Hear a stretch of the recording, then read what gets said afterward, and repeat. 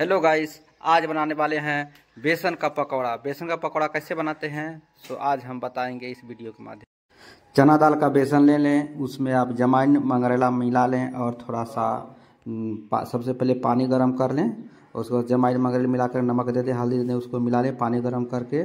उसको सिसुम पानी से उसको फिर उसमें सानना है, अच्छी तरह से मिलाना है, घोल बनाना है।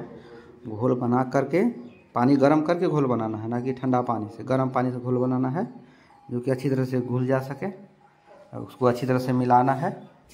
मिलाते रहें जब तक नहीं मिले, उसके बाद ठीक उसको हीट करके, यानी गर्म करके, धीमी आँच में गर्म करके उसको सुखाना है। धीरे चलाते हुए रहना, बार बार चलाते रहते सट सट सट जाएगा और जल जाएगा। आज बार बार चलाते रहना है और अच्छी तरह सूख जाएगा। उसके बाद अलग बर्तन में सरसों का तेल उसमें निकाल देना है। अच्छी तरह से। सरसों तेल में ला के निकाल देना है। निकालने के बाद उसको अच्छी तरह से ठंडा होने देना है फिर पहले थोड़ा देर। उसके बाद उसको अच्छी तरह से अच्छी तरह से साइज़ पे बना लेना है है ना? जिस साइज़ का बना जिस तरह पनीर काटते हैं उसको अच्छी तरह से काटना है पहले साइज़ बना लेते हैं गोल करके। अच्छी तरह से गोल बन गया है। हम्म, ठंडा होने दे पाँच मिनट कम से कम। उसके बाद गोल कर दे हाँ उसके चाकू लेकर के अच्छी तरह उसको पनीर की तरह पीस बना ले है ना?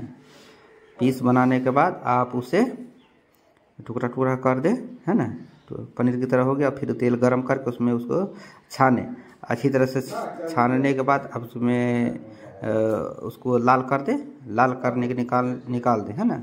ये देखो, देखिए थोड़ा सा लाल होने दे और और जितना लाल होगा, उतना टेस्टीदार लगेगा और अच्छी तरह से अंदर तक सीज जाएगा और खाने में भी टेस्टी रह, रहेगा। जो बहुत ही मज़ेदार और टेस्टीदार होता है, देखिए। मेरा पकौड़ा तैयार हो गया बेसन का। यही होता है, बेसन का पकौड़ा इसे अच्छी तरह से पका लें।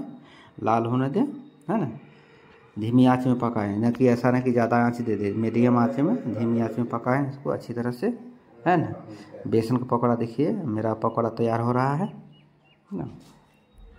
एक नंबर हो रहा है बेसन का पकौड़ा।